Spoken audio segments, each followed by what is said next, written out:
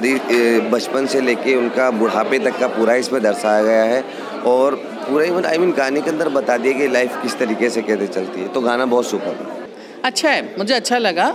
मतलब उसमें पूरा फ़िल्म दिखाई दे रही है एक्चुअली और स्ट्रगल दिखाई दे रहा है कि कैसे एक बोलते ना स्टार्ट से जो स्ट्रगल हुआ है वो दिखाई गया। पिक्चर में पूरी स्टोरी आ जाती है गाने में। आ, ये सॉन्ग देखने के बाद कोई भी यही बोलेगा कि सलमान खान का जो भी दीवाना है वो उनका और दीवाना हो जाएगा। जैसे कि सॉन्ग का नाम है ज़िंदा।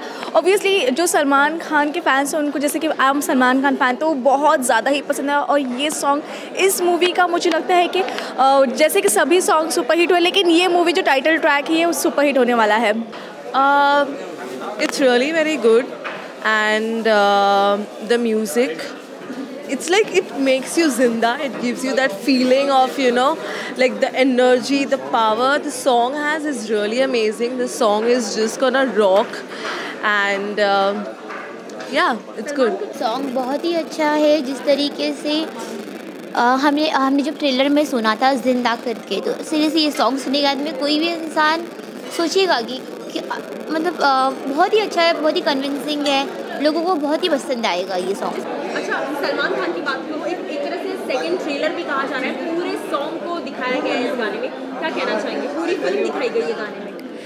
कहते हैं एक ट्रेलर आ गया है बॉस लेकिन पिक्चर अभी बाकी है तो एक मेरा कहना सिर्फ़ इतना ही होगा इस बारे में। ऑब्वियसली uh, इस uh, जैसे कि सॉन्ग में बहुत से uh, सलमान खान के चपाचू लुक दिखाए गए हैं। कहीं ना कहीं फैंस की एक्साइटमेंट लेवल को और भी ज़्यादा बढ़ा देती है और we are just waiting for this movie मे भी शायद ये इनका गुड मूव है क्योंकि अगर हम अच्छे सीन्स देख रहे हैं हमें पता चल रहा है तो ही ऑडियंस जाएगी। तो शायद ये मैं बोल सकती हूँ कि डायरेक्टर का जो भी है गुड मूव है कि उन्होंने एक सॉन्ग में पूरी फ़िल्म दिखाने की कोशिश की है। हाँ हाँ। मुझे लगा कि थोड़ा मतलब पहले मुझे लग रहा था इतने सारे किरदार हैं तो कैसे उसको मैनेज करेंगे? बहुत सारे टाइम कम है। लेकिन फिर सलमान जी ने ही बताया कि दो घंटा बीस मिनट की फ़िल्म है और सबको अच्छे से पेश किया है तो अच्छा लगा मतलब। और लग रहा है कि बोर नहीं होगी पिक्चर पहले लगा था कि पिक्चर बोर हो सकती है शायद लेकिन अभी गाना देखने के बाद लगा कि नहीं स्टोरी अच्छी लग गई बाकी जैसे से पहले वो आ, तेरे आँखों के स्लो मोशन में हाँ तो वो एक अपनी जगह पे उनके ज़माने का लेकिन ये गाने ये गाना बहुत ही अलग है। इसमें क्या है कि पूरा इनका ही सब दर्शाया गया है इस गाने में ज़माने से लेके बुढ़ापे तक का। तो ये गाना लोग आके वो डिफरेंट है।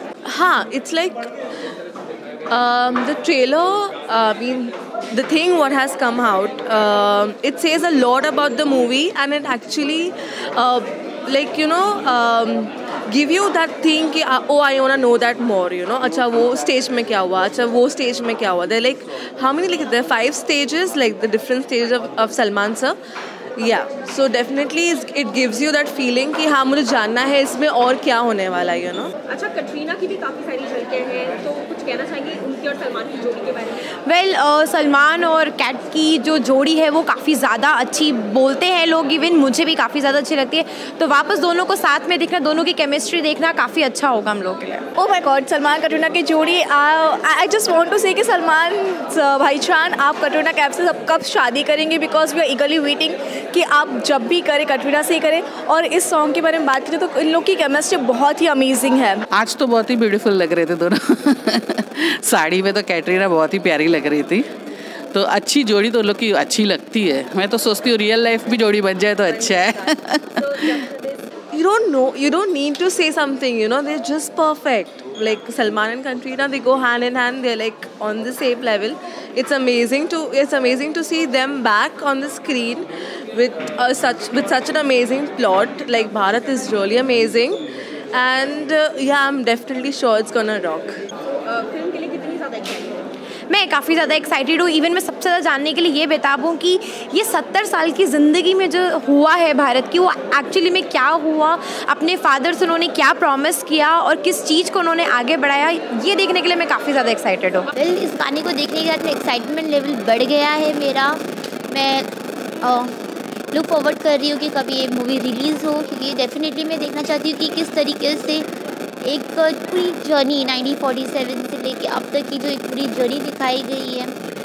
वेल uh, ये ये uh, सॉन्ग के अंदर ये एक्साइटमेंट बढ़ चुकी तो है। तो फ़िल्म को लेकर तो एक्साइटमेंट उससे पहले भी काफ़ी सारी मूवीज़ आ चुकी हैं लेकिन भारत का एक अलग ही है क्योंकि इनका जो पूरा किरदार है बचपन से लेके बुढ़ापे तक का दिखाया है और किस तरीके से लाइफ में स्ट्रगल करते हैं किस तरीके से मुसीबत उठाते हैं किस तरीके से सारे लोगों का था।